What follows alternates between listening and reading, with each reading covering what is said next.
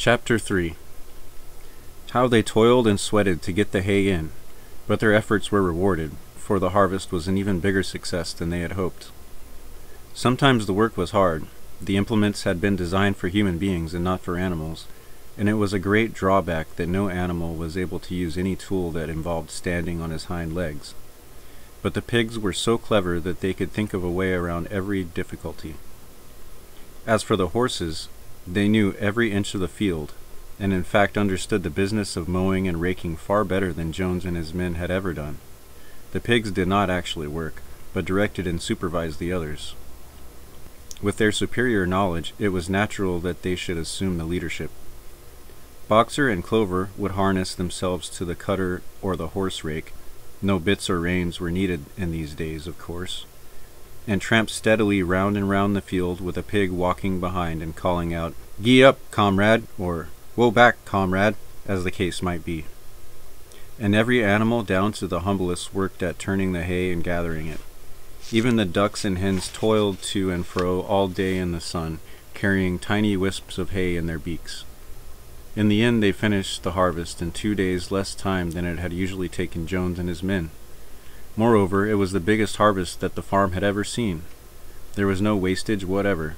The hens and ducks with their sharp eyes had gathered up the very last stalk, and not an animal on the farm had stolen so much as a mouthful. All through that summer the work of the farm went like clockwork. The animals were happy as they had never conceived it possible to be.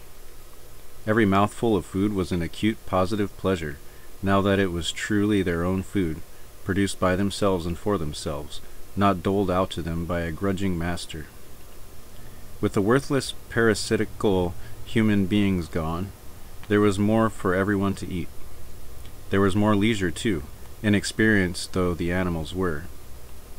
They met with many difficulties. For instance, later in the year, when they harvested the corn, they had to tread it out in the ancient style and blow away the chaff with their breath, since the farm possessed no threshing machine. But the pigs, with their cleverness, and Boxer, with his tremendous muscles, always pulled them through. Boxer was the admiration of everybody.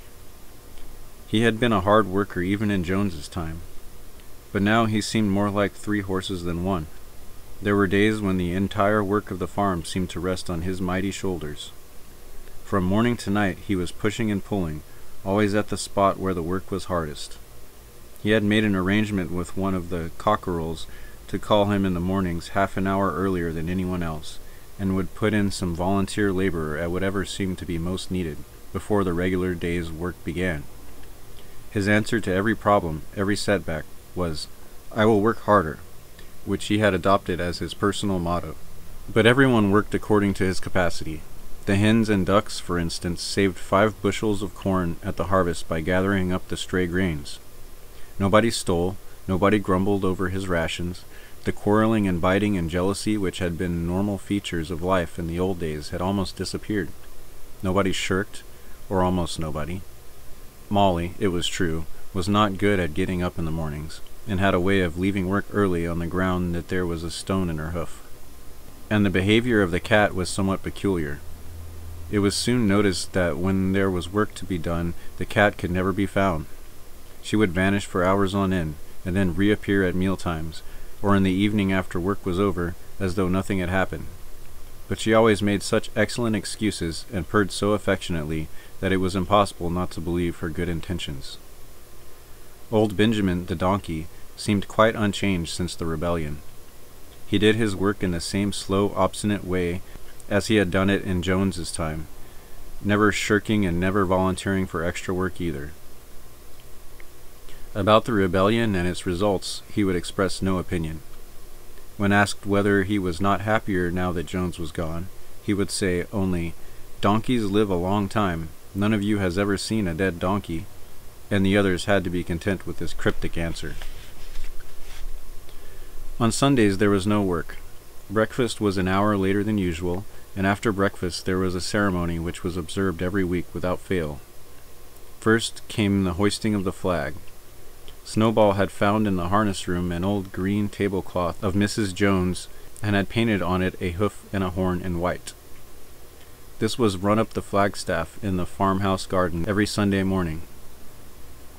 The flag was green, Snowball explained, to represent the green fields of England, while the hoof and horn signified the future republic of the animals, which would arise when the human race had been finally overthrown.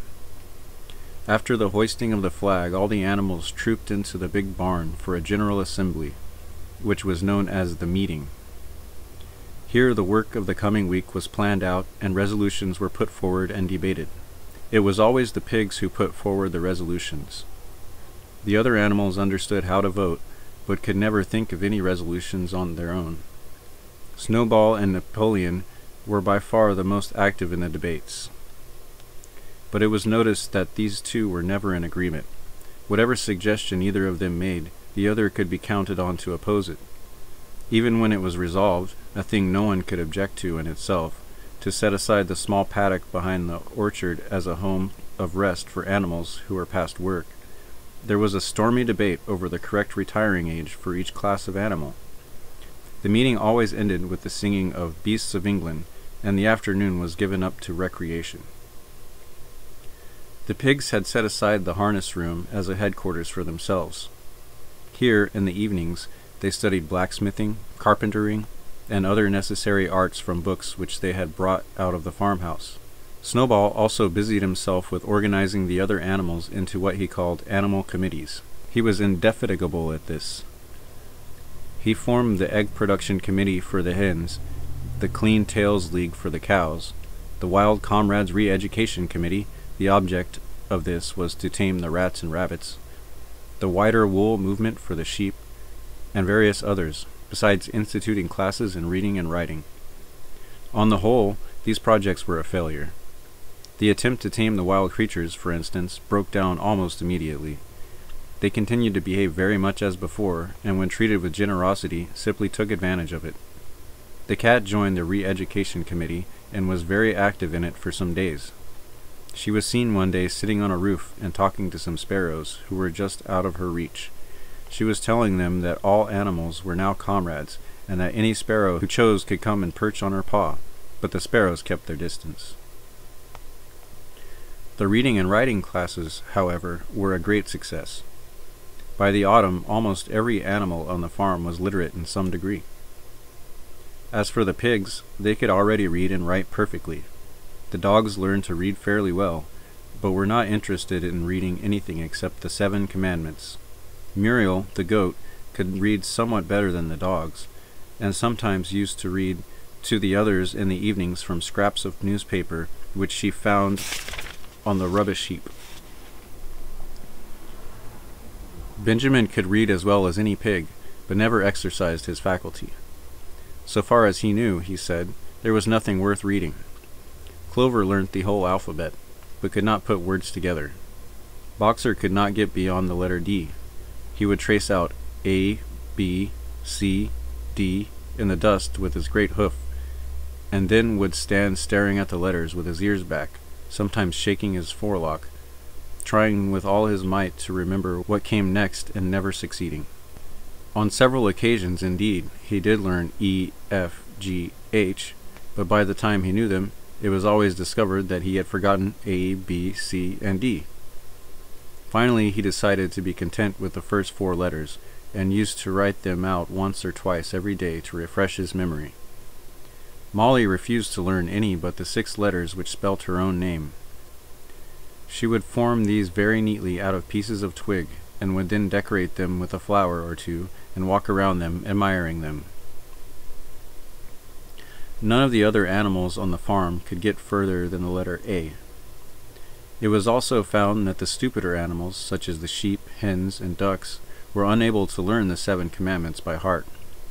After much thought, Snowball declared that the Seven Commandments could in effect be reduced to a single maxim, namely, four legs good, two legs bad. This, he said, contained the essential principle of animalism. Whoever had thoroughly grasped it would be safe from human influences. The birds at first objected, since it seemed to them that they also had two legs, but Snowball proved to them that this was not so. A bird's wings, comrades, he said, is an organ of propulsion and not of manipulation. It should therefore be regarded as a leg. The distinguishing mark of man is the hand, the instrument with which he does all his mischief. The birds did not understand Snowball's long words, but they had accepted his explanation, and all the humbler animals set to work to learn the new maxim by heart. Four legs good, two legs bad, was inscribed on the end wall of the barn, above the seven commandments and in bigger letters. When they had once got it by heart, the sheep developed a great liking for this maxim, and often as they lay in the field they would all start bleating, Four legs good, two legs bad, four legs good, two legs bad, and keep it up for hours on end, never growing tired of it. Napoleon took no interest in Snowball's committees. He said that the education of the young was more important than anything that could be done for those who were already grown up. It happened that Jessie and Bluebell had both whelped soon after the hay harvest, giving birth between them to nine sturdy puppies. As soon as they were weaned, Napoleon took them away from their mothers, saying that he would make himself responsible for their education. He took them up into the loft, which could only be reached by a ladder from the harness room, and there kept them in such seclusion that the rest of the farm soon forgot their existence. The mystery of where the milk went to was soon cleared up. It was mixed every day into the pig's mash. The early apples were now ripening, and the grass of the orchard was littered with windfalls. The animals had assumed as a matter of course that those would be shared out equally. One day, however, the order went forth that all the windfalls were to be collected and brought to the harness room for the use of the pigs. At this some of the animals murmured, but it was no use. All the pigs were in full agreement on this point, even Snowball and Napoleon. Squealer was sent to make the necessary explanations to the others. Comrades, he cried, you do not imagine, I hope, that we pigs are doing this in a spirit of selfishness and privilege. Many of us actually dislike milk and apples. I dislike them myself. Our sole object in taking these things is to preserve our health. Milk and apples, this has been proved by science, comrades, contain substances absolutely necessary to the well-being of a pig. We pigs are brain workers. The whole management and organization of this farm depend on us. Day and night we are watching over your welfare. It is for your sake that we drink that milk and eat those apples. Do you know what would happen if we pigs failed in our duty? Jones would come back. Yes, Jones would come back. Surely, comrades cried Squealer almost pleadingly, skipping from side to side and whisking his tail. Surely there is no one among you who wants to see Jones come back. Now, if there was one thing that the animals were completely certain of, it was that they did not want Jones back. When it was put to them in this light, they had no more to say. The importance of keeping the pigs in good health was all too obvious. So it was agreed without further argument that the milk and the windfall apples, and also the main crop of apples when they ripened, should be reserved for the pigs alone.